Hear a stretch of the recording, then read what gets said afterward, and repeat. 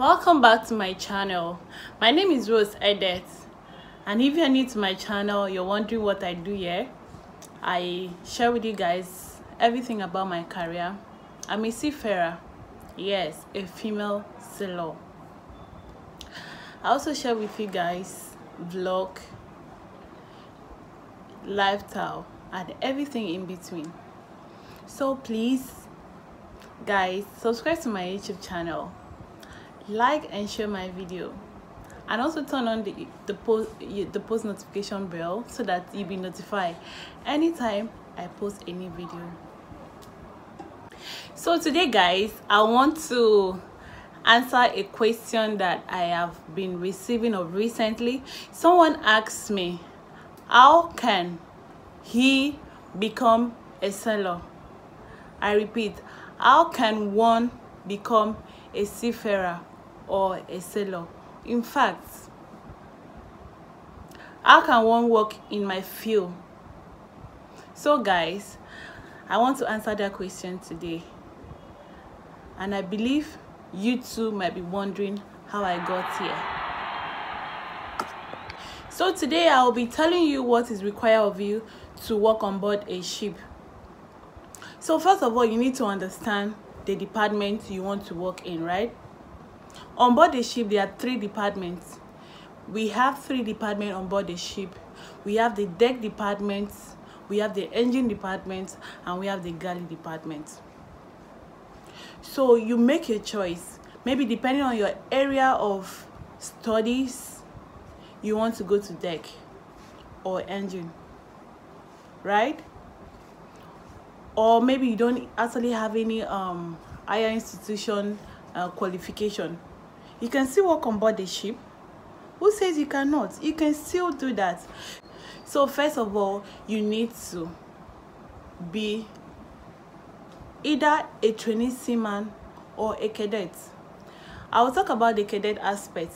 As a cadet you've always have it in mind or you've been to the university and you've studied related uh, marine courses such as marine engineering electrical engineering or nautical science and you said you want to become maybe one day you want to become a captain or a chief officer.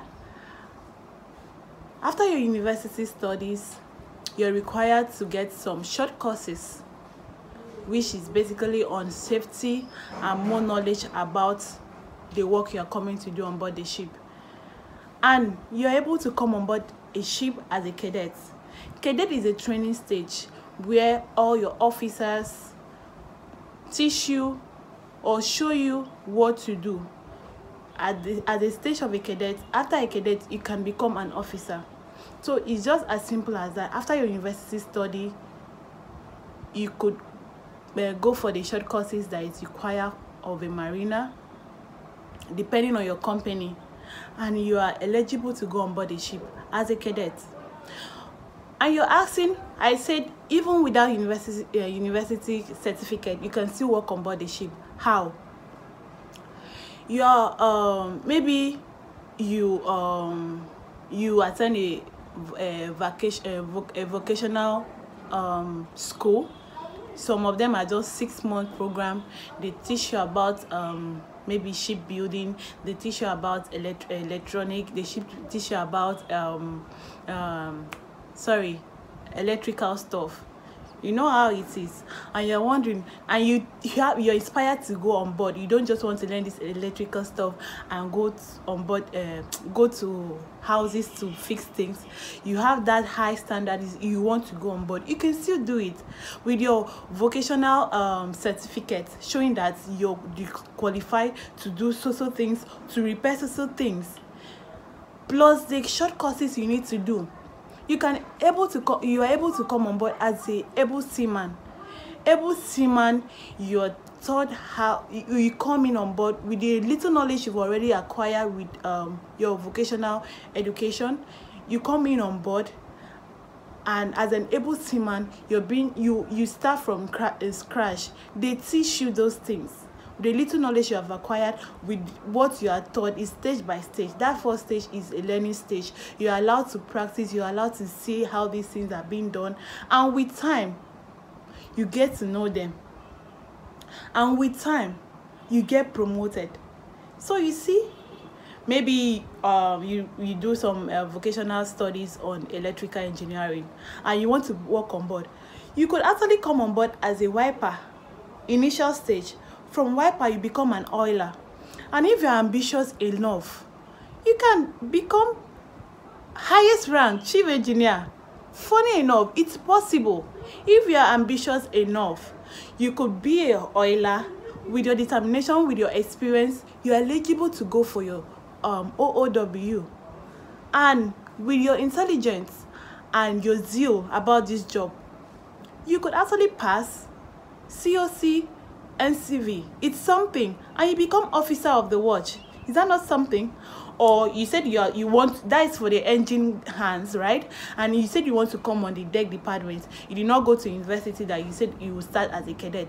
You feel discouraged. No you don't have to feel discouraged. Even with your without the university certificate you can come on board as an ordinary seaman.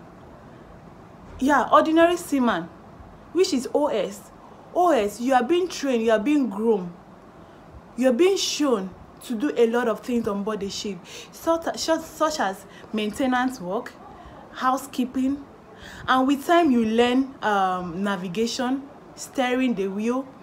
You become from you, you you'll be promoted from os to able seaman. As able seaman you're already navigating you're keeping watch. And if you're intelligent if you if you have the desire to upgrade yourself with with enough experience you're eligible to pick uh um a OOW form and go sit for the COC exams. And if you pass you can become an officer. So you see guys it's not about it's not all about going to university or you, you think i did not go to university i cannot make it as a seafarer. Or you think being a seafarer is only meant for university graduates. Or you as a university graduate you feel um you cannot do it guys everything depends on your desire and zeal. Just go to that university and you'll be lucky to pursue your career and get everything done. You, you could become a cadet as it starts as the, as, as, the, as the day goes by become an officer chief officer you become um, captain if that's what you want. Or even those that did not even go to university you could become a, a training sim um yeah a training seaman. With time you could still acquire other certificates that will enable you to become officer. Sometimes the difference is just in those um, salary and it's just a little difference. But with your passion for job you won't even want to look at your sal salary aspect because you know the future is brighter right? So guys it's just easy your school um um you go through your university stage or if you don't you're not opportunity to go to university you can go to any uh, vocational school six months a year they train you on a specific specific area of your interest either electronic electrical or or the deck aspect i did not mention the steward department. Steward department maybe a catering school you have to go to there and after that you have other short short courses that is required as a seafarer. Basically basically for um, safety purpose that's why those courses are a, a require of you. But with just your um, um, cooking um, any um, conventional uh, cooking center that you attend a class and learn how to cook you can actually come into the steward uh, sorry come into the galley department maybe as a steward steward they have a lot of good money. Some of the bankers you see just steward on board the ship earns more than them. You could come in as a steward with time you become a chief uh, a, chief, uh, second cook. From second cook you become a chief cook and you are earning well. You're having a leg a very legal money. You know the joy that comes with enjoying your own money.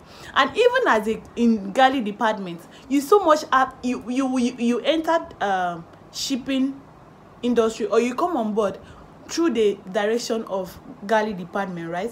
And as time goes on you realize that you want better because in galley department the highest rank you could you can acquire is just the chief cook right? But in other department you can actually get higher to as high as captain or chief engineer and chief engineer right? So while in the galley department you now see that uh, you want something more for yourself. You don't just want to end up cooking cooking. Though that was the means you got into the shipping uh, shipping industry it's always nice to make a step. So you make a step to come into the shipping industry with with your cooking idea right? And you got there and you feel you can do more. You feel that there's more to this your life than just cooking and serving people right? And you want to divert. You can with your interest and with your desire once in a while if you you now decide to change to engine department or you decide to go to deck once in a while you go on deck. You meet the captain sir i want to go on deck and do social work. I'm interested. When, when i'm in my free time i want to also assist, assist on deck. You'll be so surprised that with a good captain and with your relationship with captain with your desire to work with the energy you are bringing out in your next contract they might promote you to become to be switched to a deck department and then you can switch. Before you know it with your ambitious mind and life you can get to that height you want. So guys i just want to share with you how you can get into um, shipping industry or work on board the ship. How you can get there. That's a little i can share